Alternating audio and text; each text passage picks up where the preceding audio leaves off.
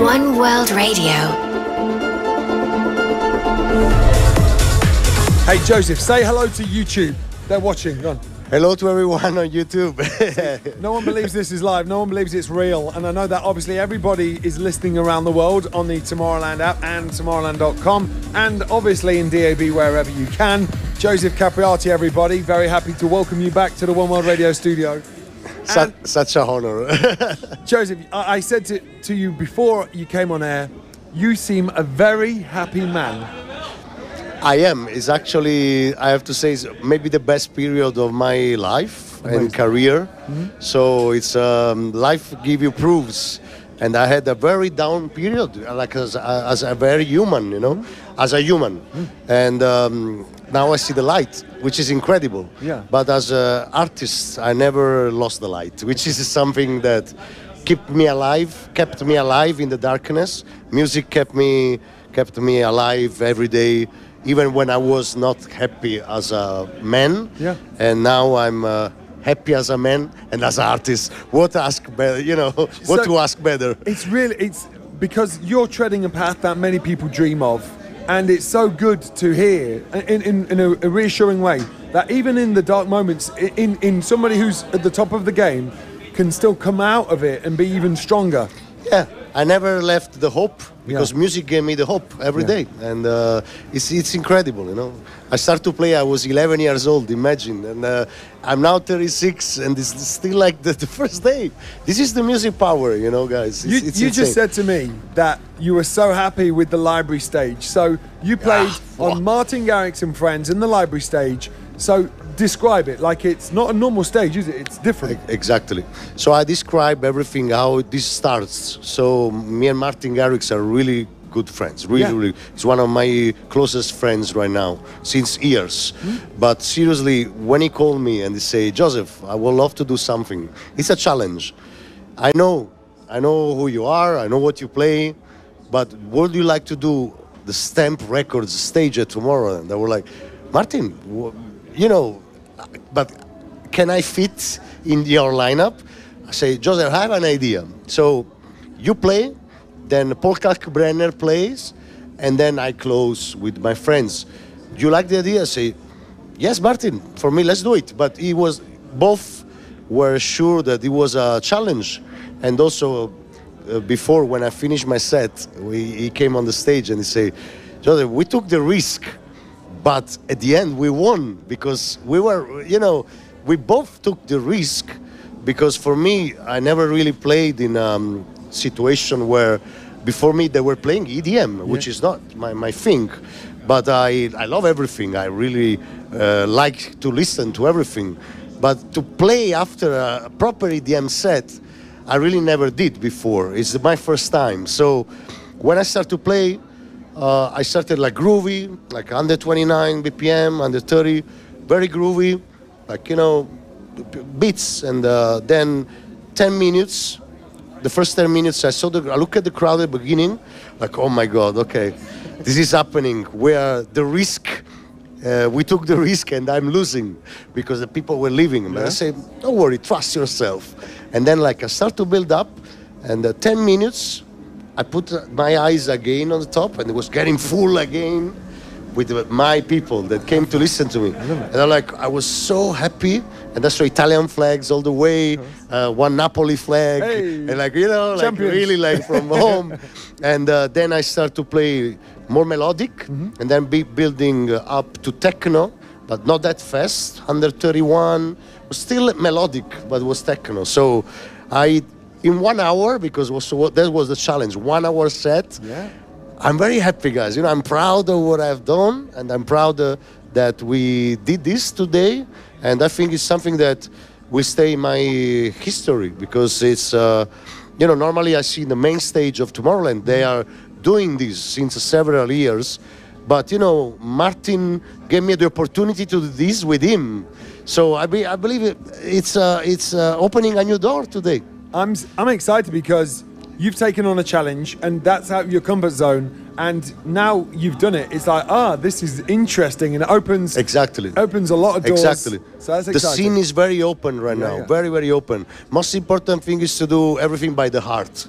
anything can happen nowadays. You can do everything. You can even get so popular if you want, but if you want, but if you really love what you do, you will stay. Yeah, yeah. If you really uh, do things with your intention, people will know, and uh, will you will stay forever. Authenticity, right? It's like Yeah. you are really who you are, and that is what you do. I don't produce records since mm, five years. Maybe Mm-hmm. my last album was like four years ago, and uh, I play all over the world with my DJ vision. Yeah. So I'm so honored and the glad that people support me and believe in what I do as a DJ because I start as a DJ. Yeah. I was playing records.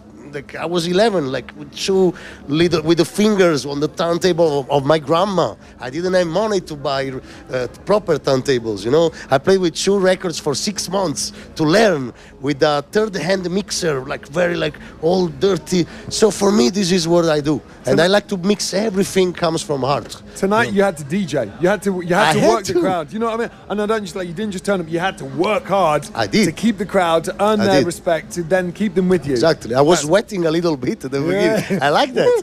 I like pressure. that. You Now, know. Let me ask though, because this is the Martin Garrix and Friends stage. Yeah. Like, when did you first? Because I know I was going to ask. Like, when did you first get to be friends with Martin? So this is a story that I don't believe happens every day, but it was like uh, one year, two years before the, the, the pandemic, something like that, and it was in holiday in uh, Thailand. So that's the place where a friend of mine goes. So this this friend of mine sent me a, a photo with Martin. Say, hey bro, I'm with Martin. You know, he say hi. I say, wow man, Martin Garrix. You know, I don't know him, but no, no, no. He really follow your music. He, you know, he knows you. I say, and then. Uh, I, we start to connect on Instagram, and uh, we, we follow each other. And he sent me a text like, "Hey, bro, you know, uh, you are one of my uh, the person I most respect." I said, "No, come on, this is this is not possible. I mean, you know, it's Martin Garrix, he's a star."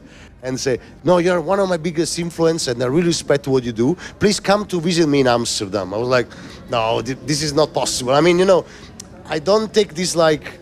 real you know many Is it a people many Yeah. people like you know blah blah blah yeah yeah invite me to home but then they don't do it and then he's like no no now you take a flight and you book a flight please because i and then i you know i say i don't know martin. So i asked to this friend say he's doing it. if he, he asks you this do it because he's a real like you joseph. I was like okay let's do it. I took a flight bro it's like being home home for real and uh, nobody nobody treat me like this straight away as martin did. He's a he's a one of the most humble person i ever met in my life maybe i can count in two fingers other one is carl cox probably Yeah. and uh, he's a genius. You know, I realized what he does. He wake up every day. If he sleep uh, maybe four hours a night, yeah. He's, he's always making music. But he makes a melody, it's a hit Yeah. straight away. And he does everything by himself. He doesn't have any engineer. He doesn't have any, uh, Guitar, you know, hide the producer. No, he does everything by himself. I can prove that. He's a legend. So for me, I was just there, and he, we, he didn't even ask me to say, "Hi, Joseph, let's do something together." Never. We after one year we met each other. We start to say, we, we start to work on a loop. We never really finished it, but it's there. But it's something like really special. It's groovy. Yeah. But we are not there for uh, any connection or something. Just real life connection and friendship. Amazing. This is I never happened ever in my life something like that. So Martin for me is one of my most important person. And also when I got a, a big big uh, uh, accident, I don't know Yeah, if yeah. somebody knows around. Like uh, three years ago, I almost died, and he took a flight to come to outside my door, you know. Mm-hmm. And I said, "No, man, don't come, don't come. I don't wanna that you see me bad." He, he said, "No, Joseph, I'm there with you." You know what I mean? Yeah. Guys, it's it's it's insane. And uh, Did he bring you any grapes? because if he didn't, he's no friend of yours. I want grapes. Uh, you know what? That's really beautiful to hear that, and I'm, I'm glad I asked, and I hope you don't mind. And thank you for sharing because obviously there's there's lots of detail in there that's personal to you, but it's it's it makes so much sense now that you're on the Martin Garrix stage. You know, that's amazing. This is why. This is why it happened. Happened for a reason, for a real music reason, and uh, human connection reason.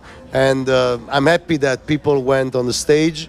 And even if m- most of the people maybe they didn't know me, they went there and they were dancing. You know, for me, I'm humbled. You know, as because as I repeat you, I just I'm a DJ, a humble DJ that really love what uh, what he does, and uh, thank you to everyone. Really, I'm, I'm speechless. This is the by far my best uh, Tomorrowland experience ever, and uh, today for me, the Tomorrowland soul get in my in my heart. So beautiful thing. seriously, I'm I'm grateful, very inspiring. And after this this, I'm also I promise to everyone I'm getting there.